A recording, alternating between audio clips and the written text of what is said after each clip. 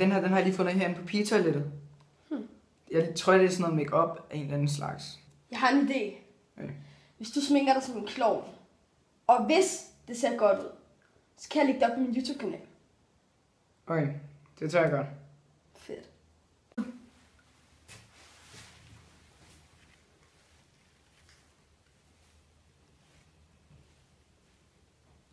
Tror du ikke, det bliver flot? Og nok lidt mere smink på. Hvor, øhm, hvor tror du, der mangler noget nu? Mm, kan du lave noget på hagen? Ja. Ha, det bliver godt nok. Ser det ikke pænt ud? Jo, jo, det ser rigtig pænt ud. Er det fint nu?